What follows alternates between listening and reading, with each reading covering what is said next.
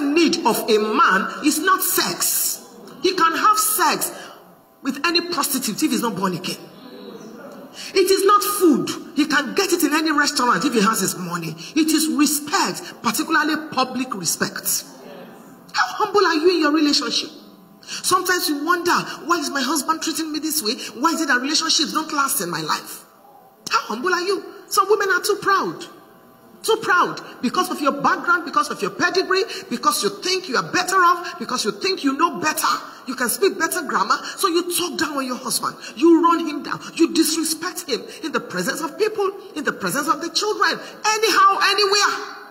You get home after church and you say to your husband, when Pastor Rav told husbands to come out, you too, you came out. Is there, are you a man?